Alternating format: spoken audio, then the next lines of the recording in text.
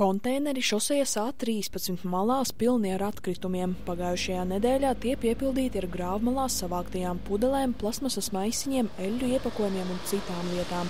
Tomēr jau atkal vietām veidojas mēslu kaudzes. Plasmasas pudeļus visus tos. Tā jau salika, da, kad brauc televīzija, tā salīk konteinerus, mīslītus, toaletes salīk. Da to nebija. И visi, protams, sīš visu grovi. Есть такие люди, которые вот Ir tādi cilvēki, kuri izsviež atkritumus. Es izkāpu, lai traukus nomazgātu. Atkritumu konteineri taču stāv pie katras toaletes. Trīs diennakšu laikā nobraucu četrus kilometrus. Domāju, ka vēl dienas septiņas būs jāstāv. Nu, domāju, šodien 6-7 nada būs stājies. Kravas automašīnu rinda pašlaik ir aptuveni 25 km gara.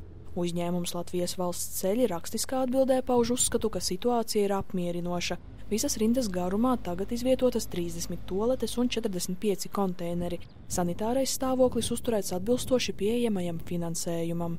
Toaletes tiek uzkoptas divas reizes nedēļā, atkritumu konteineri iztukšoti un atkritumi izvesti.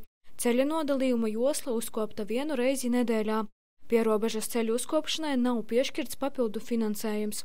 Darbi tiek veikti no valsts ceļu uzturēšanai paredzētā budžeta uz citu darbu rēķina. Finansējums visu pierobežas ceļu nodalījumu joslu uzkopšanai šim gadam ir 200 tūkstoši eiro. Pirmajos trīs mēnešos izlietoti jau vairāk nekā 52 tūkstoši eiro. Aprīlī apjoms vēl palielinājies. Lai veiktu vēl lielāku darba apjomu, izmantotu vēl lielāku konteineru un tolešu skaitu, divas, trīs reizes jāpalielina gadā pieejamais finansējums līdz 500 tūkstoši eiro.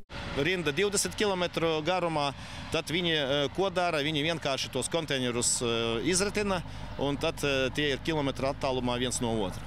Un tas nozīmē to, ka, nu, tad, protams, ir pie, piegrūžota tā teritorija.